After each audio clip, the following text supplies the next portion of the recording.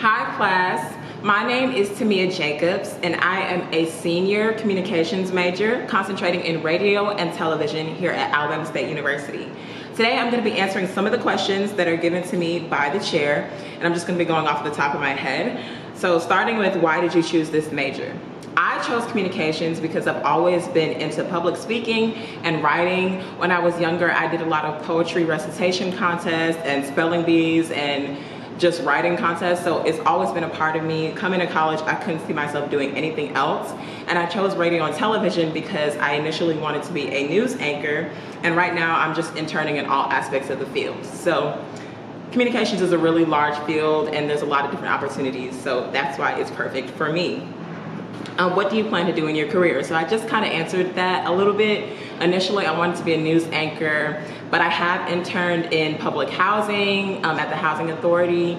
So I'm into, I'm open to being a public relations specialist, also open um, to being a speechwriter, and maybe even going into academia. So it just really depends on where the opportunity is and you know where life leads me.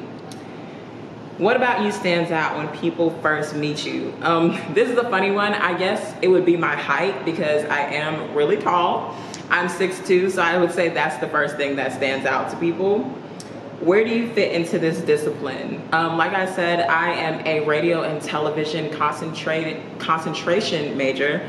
So I fit into the radio and television aspect. However, I have done news writing for different publications. So I would say I fit into a lot of different parts of communications. Um, it really just depends on wherever you put me, I can adapt, except for social media managing. I'm not the best at social media, but I do do it for my sorority, Alpha Kappa Alpha Sorority Incorporated. So I try everything that I can. Um, what are some story ideas that you would like to produce for the show? I would like um, our show to focus on a lot of social justice issues if possible. I recently read a book called Blackberries and Mulattoes that was given to me by one of my mentors and um, it basically talked about race relations between light skin and dark skin. So if we can possibly produce a show that had that conversation um, with some different aspects from different students and how that kind of has affected them throughout their life, I think that would be really good to um, see from a college perspective. Um, what are some of your strongest attributes? I would say public speaking, also being personable. I would say writing is one of my strongest attributes as well. And um, into that, I would say honesty, but that can also be a weakness depending on who you're speaking to.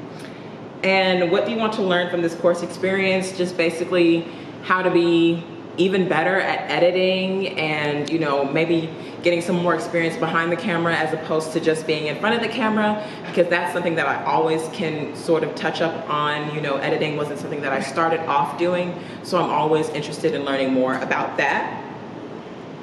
And what's the most significant news story of your generation? There's so many that I can remember. I was actually born two days before 9-11 so I always say I was born into a tragedy and then I graduated high school in a tragedy with the COVID pandemic, which is another really big story of our generation that kind of just rocked the whole um, makeup of the world and we're still kind of recovering from that.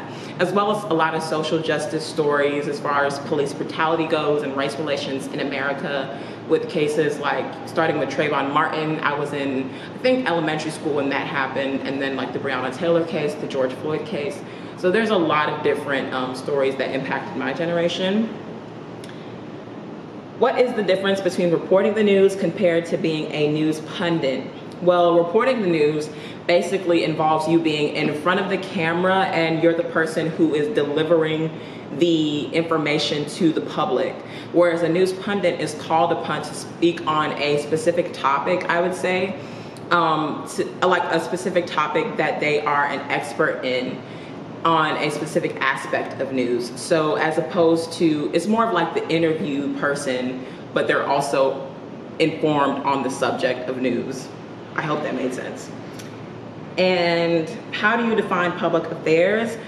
This is interesting because I actually recently finished an internship that was dealing with public affairs. I would say public affairs basically has to do with the whole management of policy and all sort of aspects that affect the public interest. So um, being behind the scenes of a company, knowing how things that you put out into the world will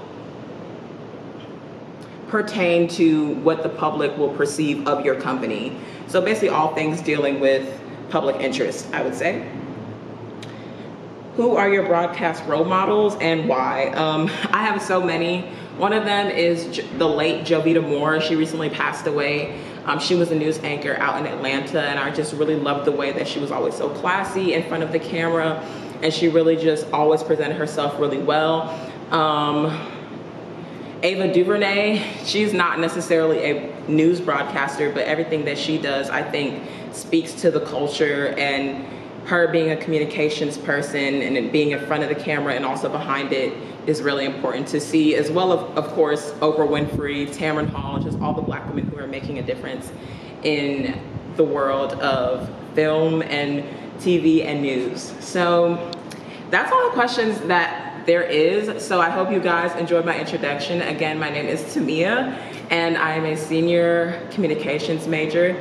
And um, you can reach me at my email, tamiajacobs at gmail.com. And yes, thank you for watching.